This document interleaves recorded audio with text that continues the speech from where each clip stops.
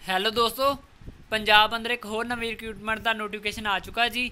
293 ਪੋਸਟਾਂ ਨੇ IT cadre ਵਿੱਚ ਭਰਤੀ ਆਈ ਹੋਈ ਆ ਤੇ ਡਿਪਾਰਟਮੈਂਟ ਹੈਗਾ ਜੀ ਡੀਜ਼ੀਆਰ ਜਿਹਨੂੰ directorate of governance reforms Punjab ਕਿਹਾ ਜਾਂਦਾ ਵਾ।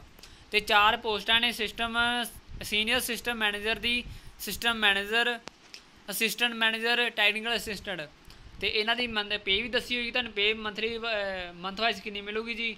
ਇਹ ਜਿਹੜੀ ਸੀਨੀਅਰ ਸਿਸਟਮ ਮੈਨੇਜਰ ਉਹਨੂੰ 125000 ਸਿਸਟਮ ਜਿਹੜਾ ਮੈਨੇਜਰ ਆ, ਉਹਨਾਂ ਨੂੰ 85000 ਜਿਹੜੇ ਅਸਿਸਟੈਂਟ ਮੈਨੇਜਰ ਉਹਨਾਂ ਨੂੰ 55000 ਟੈਕਨੀਕਲ ਅਸਿਸਟੈਂਟ ਨੂੰ 35000 ਤੇ ਕੈਟਾਗਰੀ ਵਾਈਜ਼ ਵੰਡ ਕੀਤੀ ਹੋਈ ਆ, ਜਿਹੜੀ ਪੋਸਟ ਲਈ ਕਿੰਨੀਆਂ ਕੈਟਾਗਰੀ ਵਾਈਜ਼ ਵੰਡੀ ਹੋਈ ਪੋਸਟ ਕਿ ਆ ਕੈਟਾਗਰੀ ਨੂੰ ਇੰਨੀ ਪੋਸਟ ਮਿਲੂਗੀ।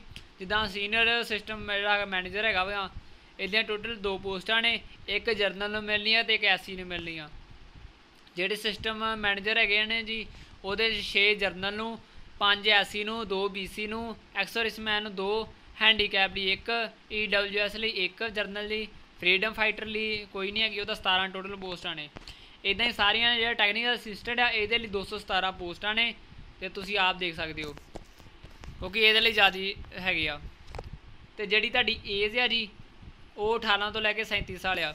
ਤੇ ਜਿਹੜੀ ਜ਼ਿਆਦੀਆਂ ਪੋਸਟਾਂ ਨੇ, ਉਹ ਹੈਗੀਆਂ ਟੈਕਨੀਕਲ ਅਸਿਸਟੈਂਟ ਦੇ ਵਿੱਚ, ਤੇ ਉਹ ਤੋਂ ਘੱਟ ਹੈਗੀਆਂ, ਉਹ ਤੋਂ ਵੱਧ ਹੈਗੀਆਂ ਜੀ, ਘੱਟ ਮਤਲਬ ਕਿ ਟੈਕਨੀਕਲ ਅਸਿਸਟੈਂਟ ਤੋਂ ਘੱਟ ਉਦਾਂ ਦੂਜੀਆਂ ਪੋਸਟਾਂ ਨੂੰ ਵੱਧ ਹੈਗੀ ਅਸਿਸਟੈਂਟ ਮੈਨੇਜਰ ਦੀ 57 ਦੂਜਾ 17 ਤੇ ਦੂਜੀ 2 ਠੀਕ ਜੀ? ਤੇ ਜਿਹੜੀ ਤੁਹਾਡੀ ਏਜ ਹੈ 18 ਤੋਂ ਲੈ ਕੇ 37 ਸਾਲ ਚਾਹੀਦੀ ਆ ਤੇ 1 ਜਨਵਰੀ 2021 ਤੱਕ ਤੁਹਾਡੀ 37 ਸਾਲ ਹੋਣੀ ਚਾਹੀਦੀ ਆ। ਠੀਕ ਹੈ ਜੇ ਮੰਨ ਲਾ ਇਹ ਤੋਂ ਓਵਰ ਕੋਈ ਹੁੰਦੇ, ਉਹ ਨਹੀਂ ਅਪਲਾਈ ਕਰ ਸਕਦੇ। 18 ਤੋਂ ਲੈ ਕੇ 37 ਸਾਲ ਦਾ ਅਪਲਾਈ ਕਰ ਸਕਦੇ ਨੇ। ਤੇ 18 ਸਾਲ ਦਾ ਜਿਹੜਾ ਹੈਗਾ ਉਹ ਹੈਗਾ ਜੀ 1 ਜਨਵਰੀ 2021 ਤੋਂ ਪਹਿਲਾਂ ਪਹਿਲਾਂ ਉਹਦੀ 18 ਸਾਲ ਏਜ ਹੋ ਜੇ। ਜੇ ਬਾਅਦ ਚ ਹੁੰਦੀ ਆ, ਉਹ ਐਲੀਜੀਬਲ ਨਹੀਂ ਆ। ਤੇ ਜਿਹੜਾ ਸੀਨੀਅਰ ਸਿਸਟਮ ਮੈਨੇਜਰ ਉਹਦੇ ਲਈ ਕੁਆਲੀਫਿਕੇਸ਼ਨ ਚਾਹੀਦੀ ਹੈ ਜੀ ਬੀ ਬੀਏ ਬੀਈ ਜਾਂ ਬੀ ਟੈਕ ਤੇ ਜਿਹੜੇ ਐਮਬੀਏ ਵੀ ਕਰ ਸਕਦਾ ਜਾਂ ਐਮਐਸ ਐਮਐਸਸੀ ਐਮਸੀਏ ਐਮਬੀਏ 에ਅਰ ਦੂਜਾ ਅਪਲਾਈ ਕਰ ਸਕਦੇ ਨੇ। ਪਰ ਤੁਹਾਡੇ ਜਿਹੜੇ ਨੰਬਰ ਆ, ਉਹ ਤੁਹਾਡੇ 50% ਹੋਣੇ ਚਾਹੀਦੇ ਨੇ ਤੇ ਤੁਹਾਡੇ ਤੋਂ ਐਕਸਪੀਰੀਅੰਸ ਹੋਣਾ ਚਾਹੀਦਾ 9 ਸਾਲ ਦਾ।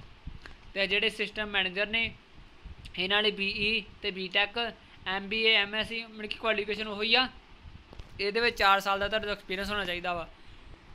ਜਿਹੜੇ ਅਸਿਸਟੈਂਟ ਮੈਨੇਜਰ ਨੇ, ਇਹਨਾਂ ਲਈ ਕੁਆਲੀਫਿਕੇਸ਼ਨ ਉਹੀ ਆ ਤੇ ਬਸ ਇਹਨਾਂ ਤੋਂ 3 ਸਾਲ ਦਾ ਕੋਰਸ ਹੋਣਾ ਚਾਹੀਦਾ ਐਕਸਪੀਰੀਅੰਸ ਕਮਿਊਨੀਕੇਸ਼ਨ ਟੈਕਨੋਲੋਜੀ ਵਿੱਚ। ਇਨਫੋਰਮੇਸ਼ਨ ਐਂਡ ਕਮਿਊਨੀਕੇਸ਼ਨ ਟੈਕਨੋਲੋਜੀ ਦੇ ਵਿੱਚ ਹੋਣਾ ਚਾਹੀਦਾ ਤੁਹਾਡੇ ਦਾ ਐਕਸਪੀਰੀਅੰਸ ਜਿਹੜੇ ਟੈਕਨੀਕਲ ਅਸਿਸਟੈਂਟ ਆ ਜੀ, ਇਹਨਾਂ ਲਈ ਸਿਰਫ ਕਿ ਤੁਹਾਡੇ ਕੁੱਖ ਨਹੀਂ ਹੈਗਾ ਜੀ। ਬਾਕੀ ਤੁਹਾਡੇ ਤੋਂ ਇਹ ਡਿਗਰੀ ਹੋਣੀ ਚਾਹੀਦੀ ਆ ਬੀ ਬੀ ਟੈਕ ਦੀ ਜਾਂ master of degree in computer application 50% number ਚਾਹੀਦੇ ਆ ਬੀਟੈਕ ਆਈਟੀ ਈਸੀ ਸੀਐਸ ਜਿਨ੍ਹਾਂ ਨੇ ਇਹ ਡਿਗਰੀ ਕੀਤੀ ਹੋਈ ਆ, ਉਹ ਅਪਲਾਈ ਕਰ ਸਕਦੇ ਨੇ, ਇਹਨਾਂ ਲਈ ਐਕਸਪੀਰੀਅੰਸ ਨਹੀਂ ਮੰਗਿਆ ਗਿਆ। ਬਾਕੀ ਕਿ ਤੁਸੀਂ 10ਵੀਂ ਦੇ ਵਿੱਚ ਪੰਜਾਬੀ ਪਾਸ ਹੋਵੇ ਦੇ ਬਾਰੇ ਲਿਖਿਆ ਕਿ ਤੂੰ ਤੁਹਾਡੀ 10ਵੀਂ ਦੇ ਵਿੱਚ ਪਲੱਸ 2 ਦੂਜੇ ਪੰਜਾਬੀ ਹੋਣੀ ਚਾਹੀਦੀ ਆ। ਭਾਵੇਂ ਤੂੰ ਐਡੀਸ਼ਨਲ ਕੀਤੀ ਹੋਈ ਆ, ਜੇ ਅਦਰ ਸਟੇਟ ਤੋਂ ਉਹਨਾਂ ਐਡੀਸ਼ਨ ਕੀਤੀ ਹੋਣੀ ਚਾਹੀਦੀ ਆ।